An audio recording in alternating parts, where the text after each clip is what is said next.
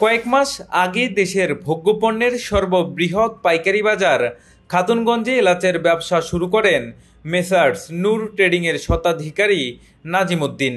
বিশ্বাস অর্জনের পর বিভিন্ন জনের কাছ থেকে প্রায় শত কোটি টাকা অগ্রিম নিয়ে উধাও খাতুনগঞ্জের এই এলাচ ব্যবসায়ী। খাতুনগঞ্জের সোনামিয়া মার্কেটের দুশো চুয়ান্ন নম্বর দোকানটি ভাড়ায় নিয়ে নূর ট্রেডিংয়ের মালিক নাজিমুদ্দিন ডিও ট্রেডিং সিস্টেমের অপব্যবহার করে বাজারে এলাচের ব্যবসা চালিয়ে আসছিলেন। বর্তমানে দোকানটিতে তালা ঝুলছে। প্রায় অর্ধশত ভুক্তভোগী থাকলেও এ বিষয়ে কেউ ক্যামেরার সামনে কথা বলতে রাজি হননি।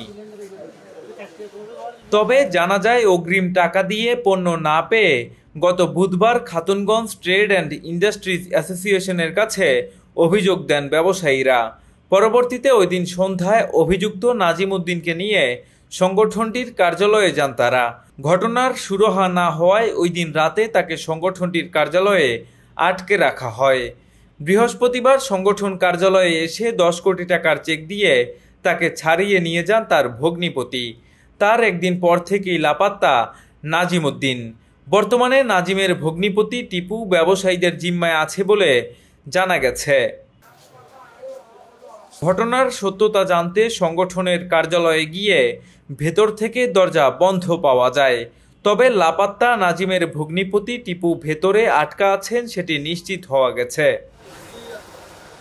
অগ্রিম টাকা নিয়ে ব্যবসায়ী লাপাত্তা হওয়ার ঘটনায় খাতুনগঞ্জ ট্রেড অ্যান্ড ইন্ডাস্ট্রিজ অ্যাসোসিয়েশনের সাধারণ সম্পাদক বলেন, ব্যবসায়ীদের চিঠি দিয়ে এসব কারবার থেকে বিরত থাকার জন্য বারবার বলা হয়েছে।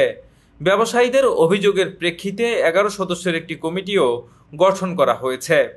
আমরা সংগঠনের পক্ষ থেকে এই ধরনের ব্যবসা বাণিজ্য না করার জন্য বারবার আমরা চিঠি দিয়ে সমস্ত ব্যবসায়ীদেরকে জানিয়ে দিয়েছি যে এই ধরনের স্লিপের ব্যবসা, এটার কোনো ভিত্তি নেই। তা আমি কি করলাম? সবাইকে নিয়ে একটা মিটিং ডেকে একটা পাওনাদার পাওনাদারদের মধ্য থেকে একটা এগারো জনের একটা শক্তিশালী কমিটি করে দিয়েছি। তারা ওদের কোথায় মাল বিক্রি করছে, কোথায় টাকা আছে, ব্যাংকে কত টাকা আছে, এগুলো হিসাব টিসাব বাইর করার জন্য ওই, তারা কাজ করতেছে। আমার মনে হয় কালকের মধ্যে হয়তো বা পরশুর মধ্যে হয়তো একটা রেজাল্ট আমরা পেয়ে যাব। উনি আগেও নাকি এ ধরনের একটা ঘটনা সাকটাইতে ঘটিয়ে এখানে আসছেন। ওনার নিজস্ব কোনো প্রতিষ্ঠান নাই, বাড়ার উপর চালাইতো। ওই প্রতিষ্ঠান থেকে স্লিপ যদি কেউ দশ টাকা বিক্রি করতো, উনি আরও বিশ টাকা বাড়াই দিয়ে ওই স্লিপ কিনে নিয়েছেন।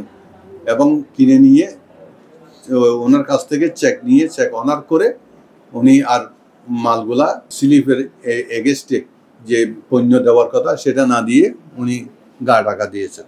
গত দুই মাস যাবৎ খাতুনগঞ্জে ডিউ কেনাবেচার চাপে অস্থির হয়ে উঠেছে মশলাপণ্য এলাচের বাজার। মার্কেটটিতে এলাচ নিয়ে ডিও বাণিজ্য শুরু হলে নাজিমও এই ব্যবসা শুরু করেন। নাজিমুদ্দিন হাটহাজারী উপজেলার গুমানমর্দন ইউনিয়ন পরিষদের সাবেক চেয়ারম্যান। শাহরুখ সায়েল সিভস টোয়েন্টি ফোর, চট্টগ্রাম।